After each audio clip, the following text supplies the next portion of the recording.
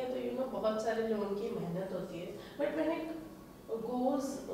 you know जब leak हो जाती है फ़िल्म जैसे कि you know there were also news about super 30 getting leak तो uh, कैसा फील होता है?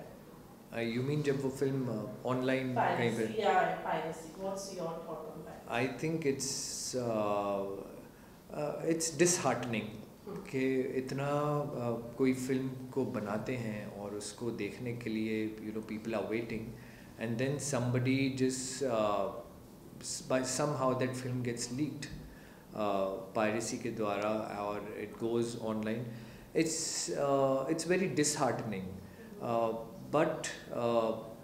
people still go people know that you know जो रियल फ़िल्म का मज़ा है वो थिएटर्स में ही आएगा so that's why people still are going to watch the film and they do watch those film but ऐसा नहीं होना चाहिए। It's not right it's not fair for people who work hard on a film and it's not right for the fans and the audience who are waiting to watch the film in theater because uh, uh, it's somewhere playing with their emotions, playing with the people who have worked on the film, with their families. I think uh,